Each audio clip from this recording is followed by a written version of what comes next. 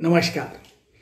तो हम कल देख रहे थे कि भगवान के दरबार में बाल, गोपाल, राजा, महाराजा सब एक जैसे हैं। वो सब द्वार पे खड़े हैं।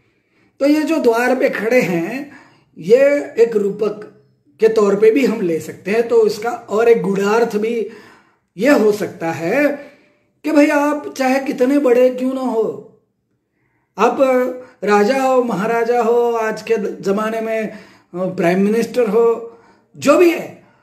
लेकिन दुख, दर्द, चिंता, व्याधि और मृत्यु भी, ये किसी को नहीं चुका। ये तो सबको है ही। तो आप इतने बड़े हो, फिर भी दुख, दर्द है, चिंता है, दुख है। तो एक सामान्य व्यक्ति और आप में फ़र्क क्या है कि आप पैसा ज़्यादा है या शोहरत है? इसके अलावा कुछ नहीं। काहे का गुरूर करते हो? ये है